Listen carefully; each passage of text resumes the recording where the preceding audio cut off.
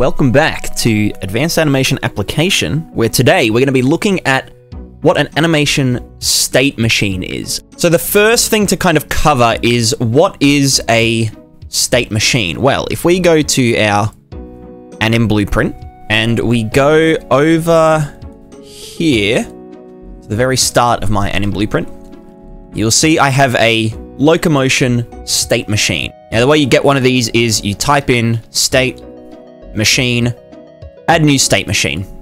And then it just has an output here, and that can go into anything at all. You could put a state machine into a blend by bool, you could put a state machine into a layered blend per bone, you could put it straight into the output, you could do whatever you wanted to do with it. You could use it for like an additive animation state machine. So if we dive into my locomotion state machine, you can see it has a very, very simple setup. It has the entry point here.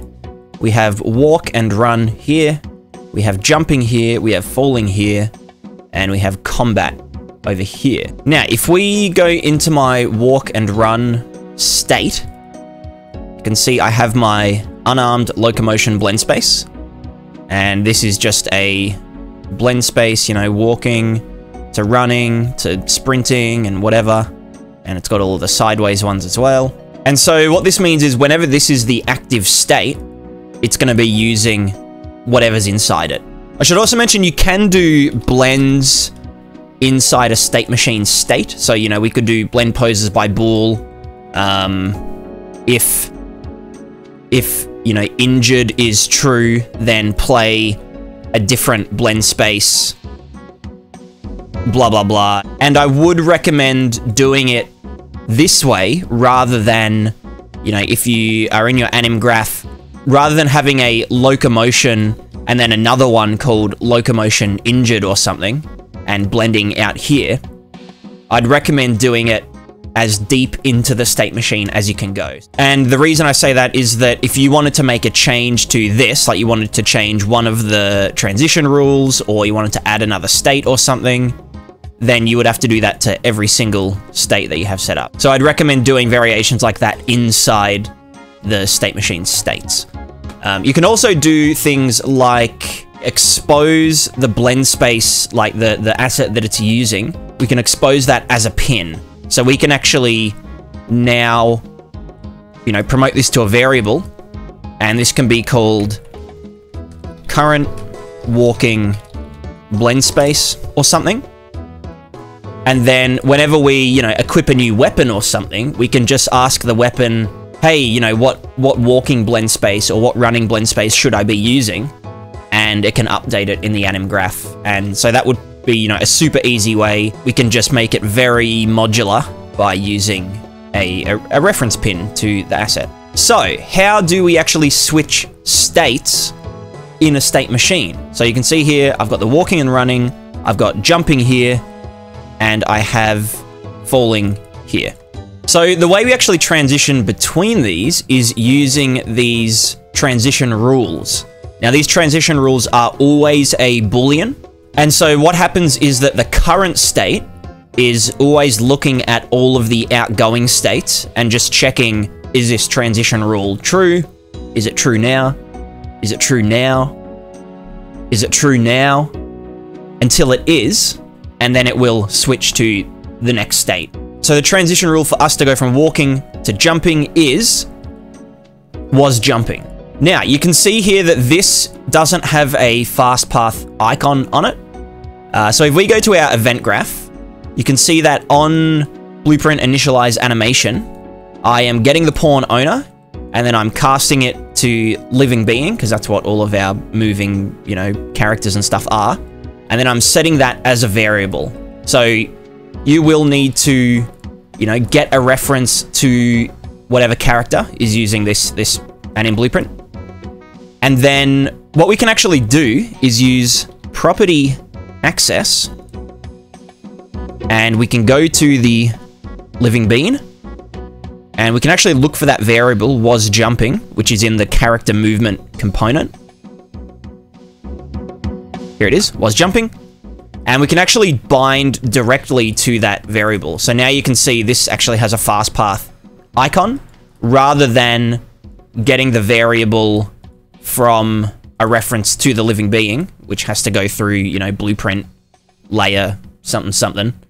Uh, we can just bind directly to that variable. And basically, when you see this icon, it means good job, this is as optimal as it can get. So then what we're going to do is after our jump animation, we want to go to falling when the relevant anim time remaining is less than 0.2 seconds. And if we actually look here, you can see that I have a blend time of 0.2 seconds. And the transition rule for falling to walking or standing or running or whatever, the boolean is in the default character movement component, uh, is moving on ground. So wherever that is, where's the damn is moving on ground? Is flying, is... Ah, oh, it's... It's right here. Is moving on ground. Bam. Fast path enabled. Good job. So what's going to happen now is if I hit play, I'm walking and running, so my character capsule is moving around. It's sending the movement speed and direction data to the anim BP, which is saying, okay, you know, we want to play this animation. Uh, these are the values that go into it. Then if I jump, let me slow down time. If I jump, it's going to go to my jump animation, and then it's immediately going to go to my falling animation. Very cool. Now, keep in mind that we can enter falling via walking and running. You know, if we just fall off a cliff, we didn't jump, we just started falling. So you do have to come up with rules for that. This one is just get movement component is falling. And if we were to, you know, put our character up here, you can see that we're in our walking, running state, idle state, whatever it is. And if we just fall off, we enter our falling uh, animation. Now, a few things to note about anim state machines. Uh, you can get notified when a transition occurs. So if I click on this walk to run transition here, or you can actually do this as well on the state, uh, you know, entered state event or something. I can actually say, okay, when this occurs, I want an event called test jumping notify to occur. And I can actually recall that in the event graph of the, you know, the anim blueprint. So if we go uh, test jump, here we go, event anim notify, test jumping notify, print string, uh, jump, jump, jump, jump, jump. So whenever we enter that transition from walking to jumping, that will occur. So ready, and boop. Says jump, jump, jump, jump, jump. Cool.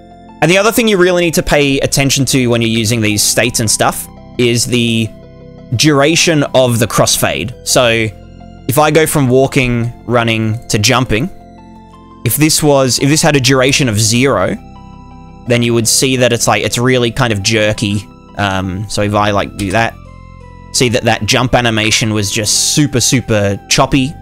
Um, again, it depends on the style of the game and, and your personal style, but, you know, if I jump now, that looks a bit, um, a bit whack. And so whenever you're, you know, making animations or putting animations and stuff together, um, you should use the blends to your advantage because that's kind of how you get really smooth transitions between everything. So you can choose the, the mode, you know, is it a linear or a cubic? Um, the duration of it. So, you know, just experiment with what a long transition looks like or a short transition. Um, I use this to my advantage with the jumping animations, if I just fall down here real quick. Uh, with the falling animations, if I just slow time down real quick, you can see that because I'm seeing which foot is forward when the jump starts, um, the blend between the running and the jump actually acts as that foot going backwards, you know? So, foot's forward, we jump, and it, and it snaps backwards over 0.3 seconds. And so that's kind of a way that you can use the blend time as an animation in itself, if that makes sense. So that was just a quick look at animation state machines. I would recommend trying to keep them as simple as possible and utilizing the fact that you can actually put extra, you know, blends and stuff inside the states. Um, that can be really handy so that you don't end up with, you know, a million different states with a million different transition rules rather than have another state for, you know, walking and running injured and then walking and running tired or something. And then we would have to, you know, do transitions between this and then also transitions between that and jumping and also falling uh, and also going into the, the combat stance and stuff. And we have to do that for every single state, which becomes an absolute fucking nightmare. You know, we'd have to like transition between these both ways, and then you've got to set up transition rules for all of them. Completely nightmarish. The better way to do it is just to do the either a blend by Enum or Bool or whatever in the state itself, or use a a blend space, you know, anim asset reference that you can set, you know, when you equip a new weapon or you enter a specific state or something like that. So I hope this video was, you know, educational and or entertaining. Hope you learned at least, you know, one new trick. And if you have any questions about the anim state machine, uh, please leave a comment or just ask on Discord, uh, which is linked below. We have a very friendly, helpful Discord that's full of nice people.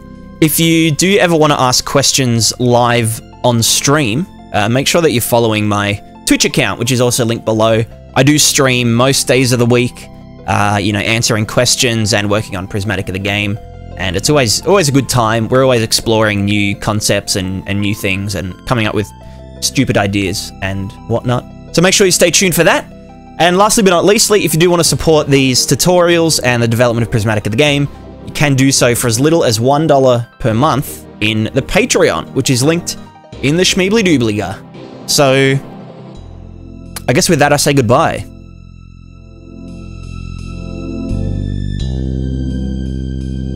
Goodbye.